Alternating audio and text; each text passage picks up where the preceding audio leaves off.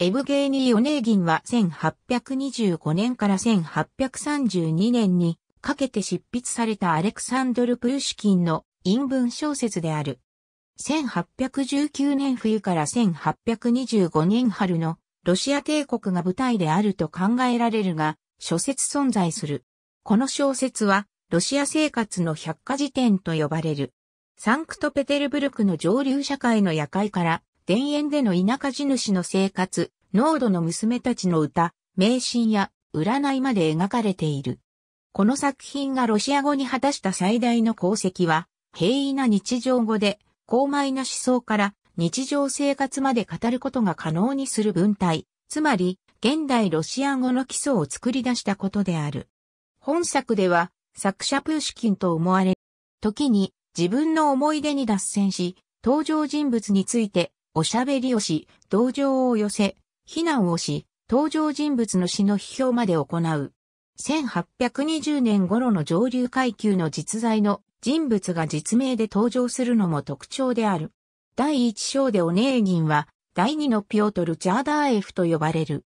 第7章では、詩人、ピョートル・バーゼムスキー公爵が、タチアーナの気晴らしの話し相手を務めた。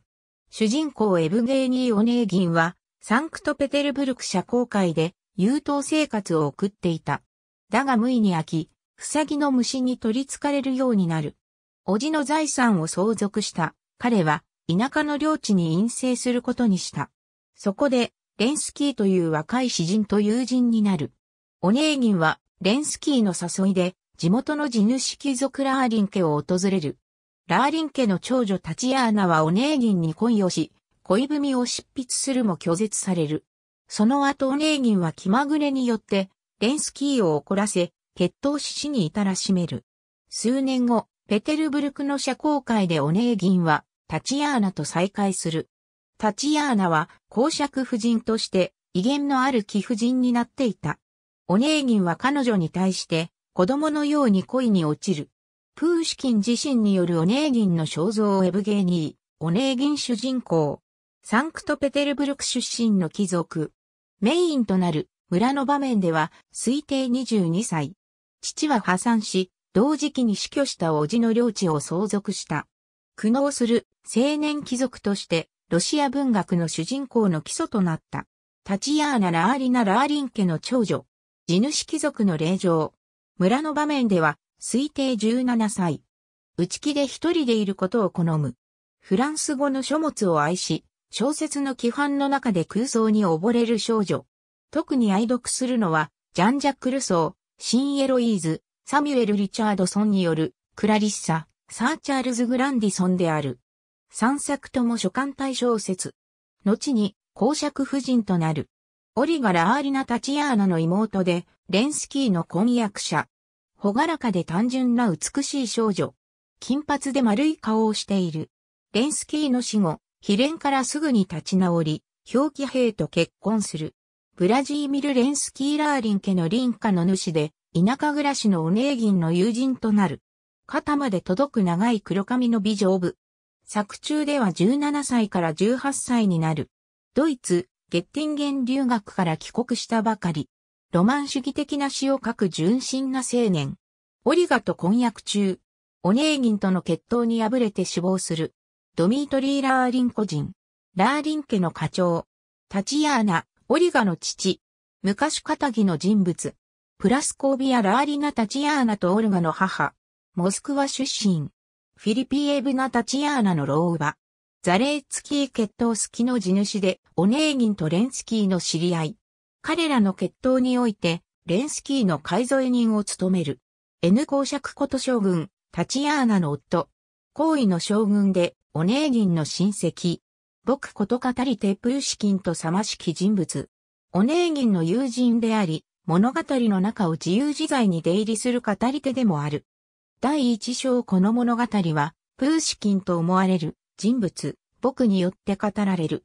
僕は、主人公たる、オネーギンの友人であった。ペテルブルクの貴族の家に生まれたオネーギンは、フランス語や経済学を学んで育つ。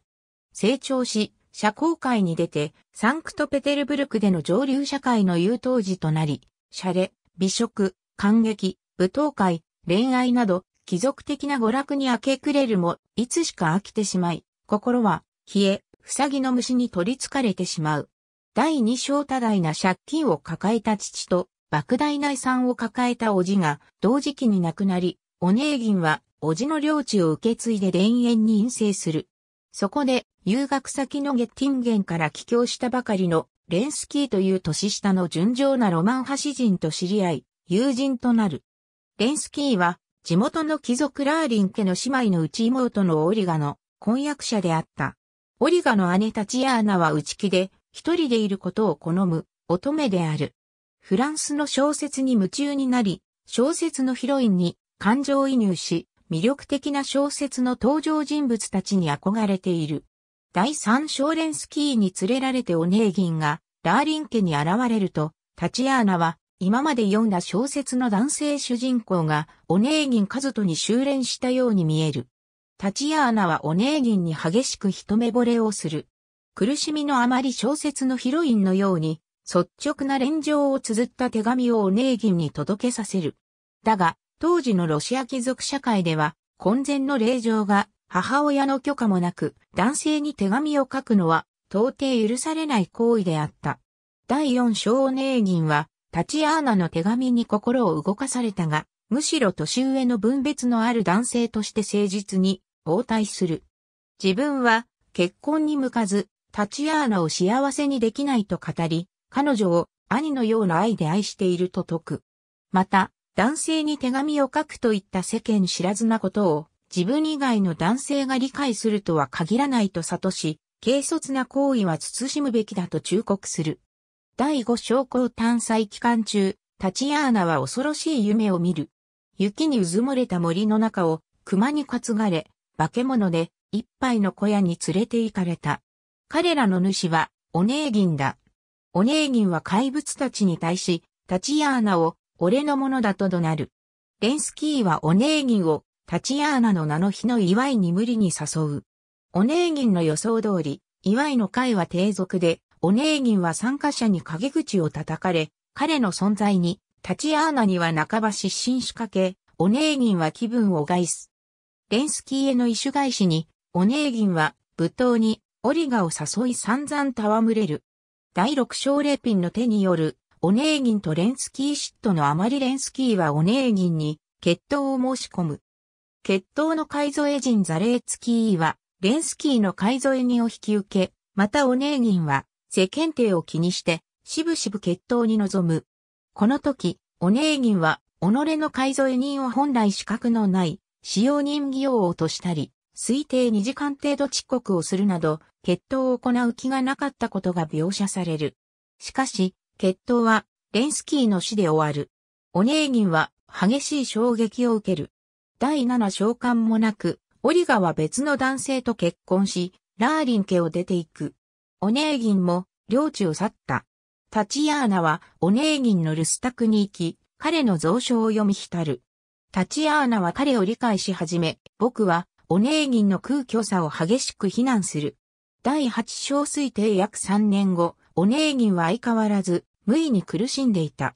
旅から戻り、ペテルブルクに着いたその足で、社交界へ赴いたオネーギンは、公爵夫人となったタチアーナと再会する。タチアーナはすっかり威厳ある貴婦人である。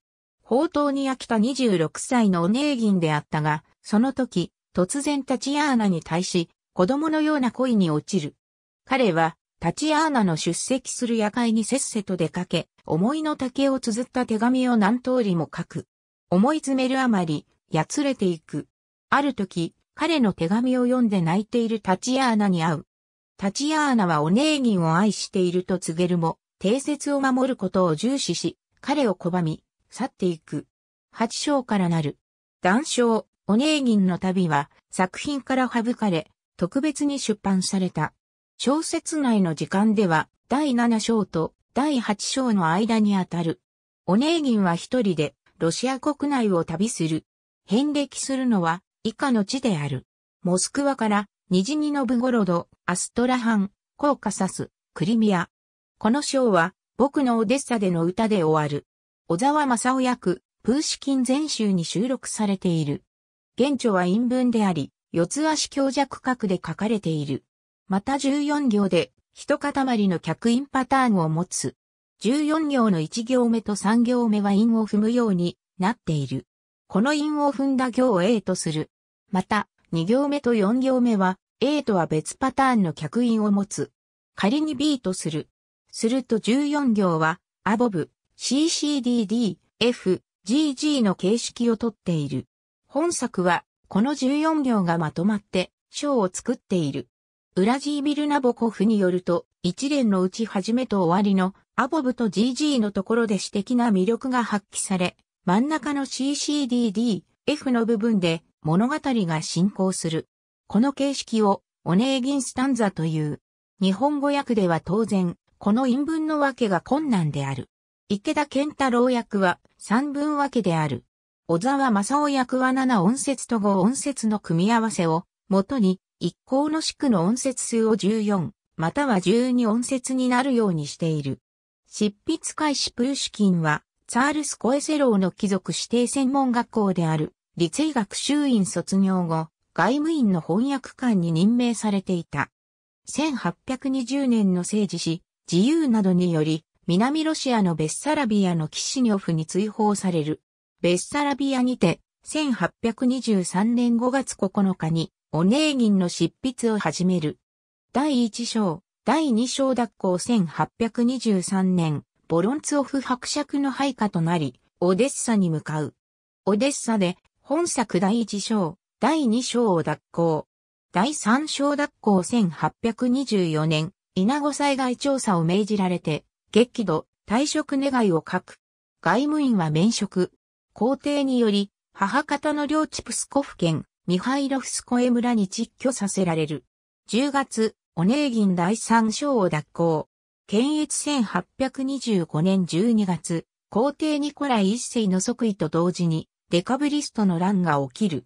乱に参加した青年将校たちには、プーシキンの友人が数多くいた。ニコライ一世は、デカブリストの乱や、西ヨーロッパでの自由主義の反乱に警戒し、皇帝直属の秘密警察皇帝官房第三部や、検閲法を作り上げた。第4章、第5章、第6章脱行1826年、ミハイロフスコエ村にて第4章を脱行。モスクワに呼び戻される。同年、モスクワで、ニコライ一世に拝謁。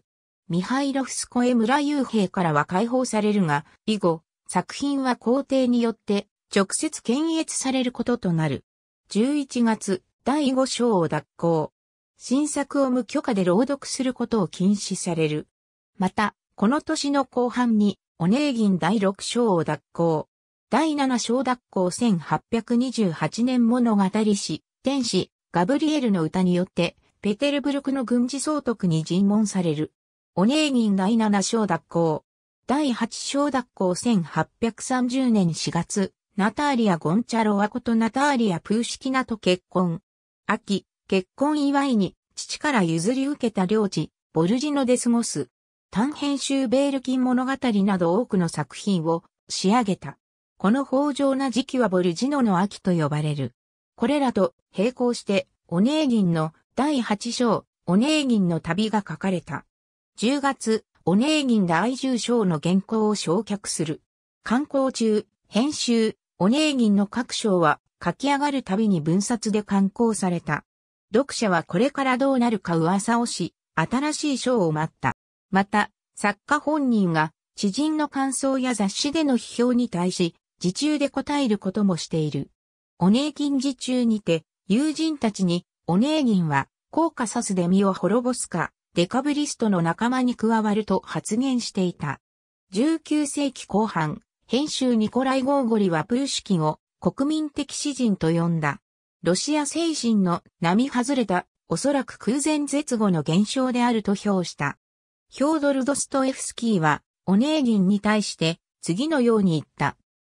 タチアーナのオネーギンに対する勝利は、信仰と革新の喪失から生じる知的空虚さに対するロシア人の正義感の勝利の象徴だ。1880年にプーシキン記念祭が行われ、ドストエフスキーやツルゲーネフが講演をした。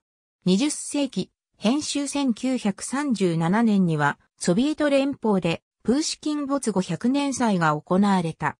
これはちょうどスターリンによる大粛清の時期であった。1936年から1938年までの間に政治的理由で逮捕された人は134万人余り、うち約68万人が処刑された。このような状況の中、プーシキンは多民族国家であるソビエト連邦をまとめるシンボルとして祭り上げられた。